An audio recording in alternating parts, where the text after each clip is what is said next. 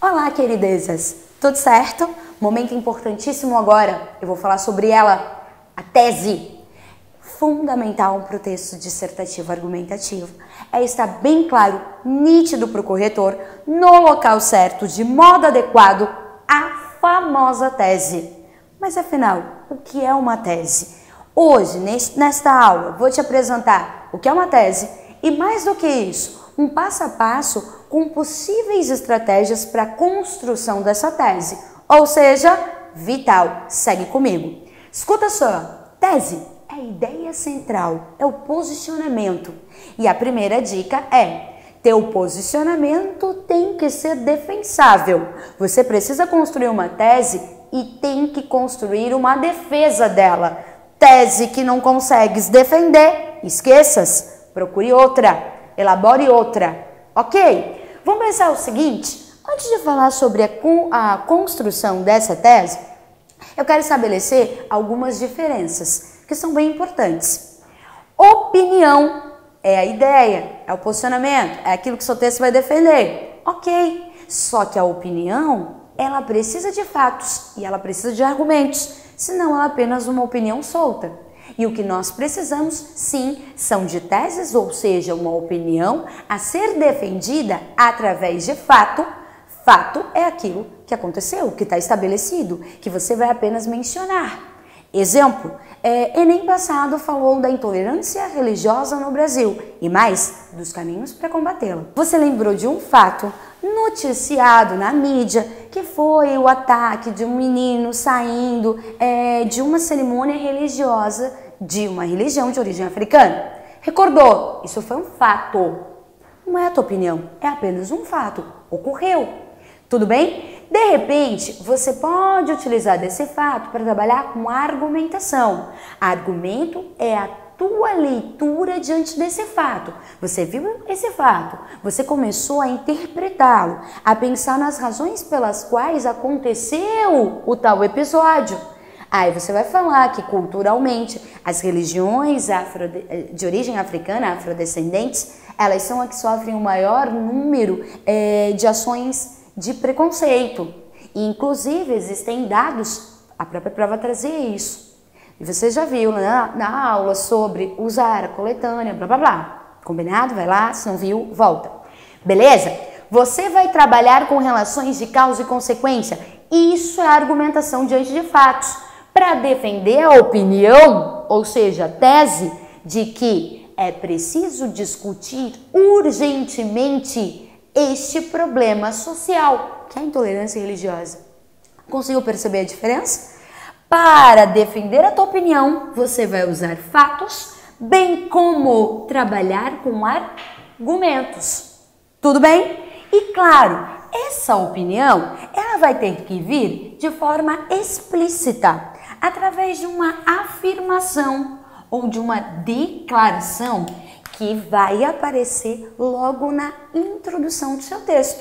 Por princípio, apresenta-se a temática, apresenta-se a tese e na sequência do teu texto, os argumentos desenvolvidos, fatos, argumentos. E lá no final você conclui. Essa é a base, a estrutura de todo o texto dissertativo argumentativo.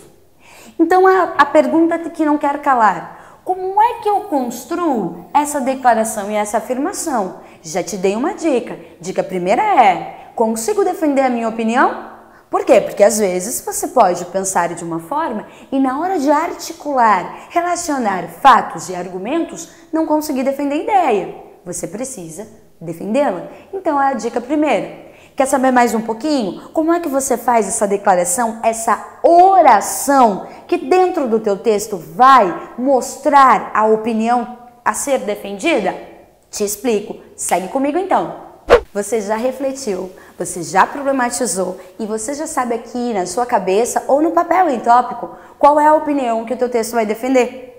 É preciso agora construir uma oração que carregue essa opinião uma declaração com a tua opinião, uma declaração que vai ter de uma até no máximo três linhas e que vai estar aonde? Na introdução e na conclusão. Pera lá, Na introdução, você mostra que ideia vai ser defendida. Na conclusão, você reafirma a ideia central. Você vai pegar aquelas linhas e reafirmar, rearticular, fazer uma paráfrase, falar com outras palavras lá na conclusão. Combinado assim? Mas, professora, como é que eu pego a ideia que está em tópico, que saiu da minha cabeça e virou tópico no roteiro e construo uma oração inteira? Vem cá. Duas grandes formas, e aí eu tenho até subtipos dentro da primeira. Primeira forma, você começa declarando a tua opinião, a tua tese. Começa literalmente na primeira linha do texto, princípio da introdução, você já declara qual é a ideia central. E aí você pode fazer isso de três maneiras. Primeira delas, você traz o artigo mais o substantivo que denotam o tema. Exemplo: a intolerância religiosa no Brasil é um problema a ser resolvido, blá blá blá blá blá blá, desenvolveu. Uh, a intolerância racial no Brasil é o mais viável? É o mais original? Não é, mas é uma possibilidade. Perceba, coloquei as reticências porque você vai desenvolver e aí sim falar qual é o teu posicionamento sobre. Show de bola? Olha o próximo. Você ainda pode usar o verbo ser ou estar mais um elemento que dê característica para esse problema, como você já havia posicionado. A partir da caracterização, você já começa a inserir a sua opinião. Ok, verbo ser ou estar. É notório, é perceptível que a problemática da intolerância religiosa, e aí você continua a desenvolver. Tudo bem? Uma outra forma ainda, você usar um verbo qualquer mais a partícula ser. Exemplo, sabe-se que a problemática da intolerância religiosa no Brasil sabe-se, percebe-se, evidencia-se e você declara aí a sua opinião. E uma possibilidade. Existe ainda uma outra que, inclusive, é um pouquinho mais elaborada e é das mais usuais existe e eu já te mostro. Galerinha, então você pode ainda mostrar a tese nas últimas linhas da introdução. Funciona, neste caso, como a conclusão da tua introdução. Você que vai observar as aulas sobre microestrutura vai perceber que cada parágrafo é uma mini dissertação, com introdução, desenvolvimento e conclusão. E a conclusão desse primeiro parágrafo pode ser a tua tese, a ideia central do texto. Aliás, o que, que vai acontecer nesses casos? Primeiro você vai contextualizar a temática. Essa contextualização, para você que vai lá nas aulas só sobre introdução, passo a passo para fazer a introdução, a tal contextualização pode ser feita de maneira histórica, através de uma citação, através de um comparativo, entre outros recursos que incluem até um lance mais artístico, brevemente narrativo, fotográfico, etc. Contextualizou a problemática, que no nosso caso, o exemplo que estamos usando nessa aula, intolerância religiosa, caminhos para combatê-la. Vamos supor que você já fez a contextualização. Agora você vai inserir um conector que, obviamente, tem que estabelecer a relação de conclusão e vai declarar, vai afirmar a sua opinião. Exemplo, assim, ou ainda desse modo, portanto, faz-se necessário o combate dessas ações preconceituosas para exterminarmos tal problemática da sociedade brasileira. Ponto. Essa foi a tua tese, que está declarada na introdução, e aí, perfeito, fechou com maestria o princípio desse texto dissertativo. Falei, falei, falei, você entendeu, mas precisa praticar. Segue comigo, vou te passar alguns exercícios para você começar a construir teses. Simbora? Antes dos exercícios, te convido a fixar mais o conteúdo. Eu trouxe algumas teses recortadas de texto nota 1000 do Enem para a gente avaliar de acordo com os dois modos estudados. Olha o primeiro! Tese igual à declaração inicial, aquela que já aparece na primeira linha do texto. Exemplo número 1. Um, é notória a necessidade de ir de encontro à intolerância religiosa vigente no país. Estratégia usada: verbo ser ou estar, mais caracterização do tema e opinião. Dali a sentença construída pelo candidato que tirou nota mil.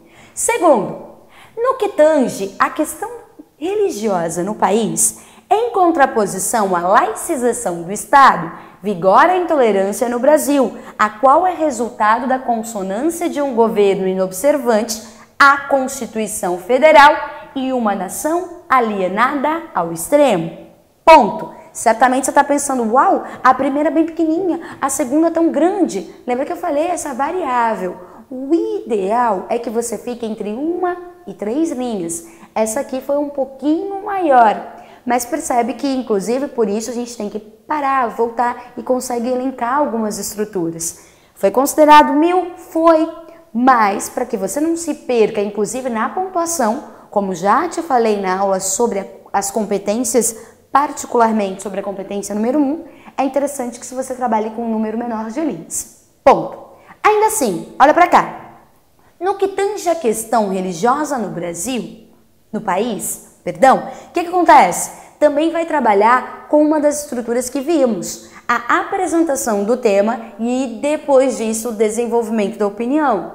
Aqui ele inclusive usa de um dos recursos. A gente vai estudar tal recurso nos modelos de introdução, que é já antecipar sutilmente, citar os argumentos que ele vai desenvolver.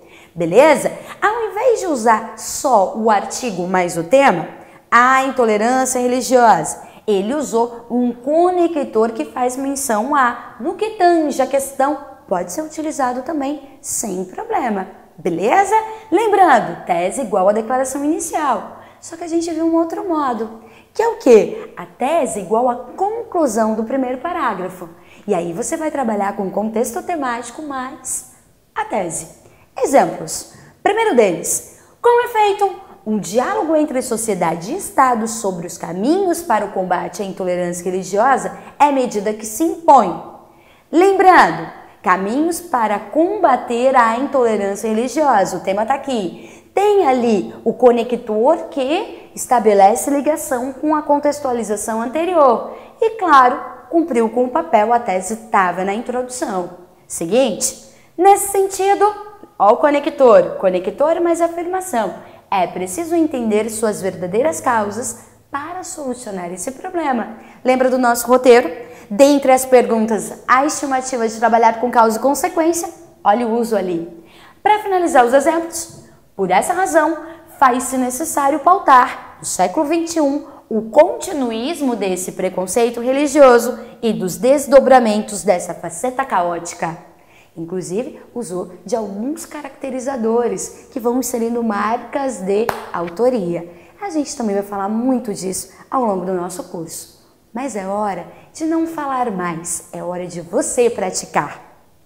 Trouxe aqui três temas que você, inclusive, pode usar para exercitar esta aula, que é a elaboração de tese, bem como a aula anterior, que é o roteiro, é o como começar.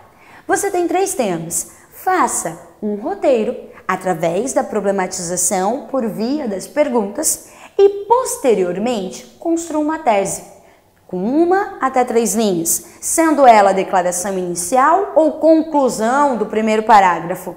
Show de bola? Tema número 1: um, o desafio do desenvolvimento sustentável no Brasil contemporâneo. Tema número 2: o sistema prisional brasileiro e os seus efeitos no século XXI. Tema número 3: depressão e seus impactos na sociedade brasileira. Três bons temas. Faça um roteiro, faça uma tese. Beijo e até a próxima aula.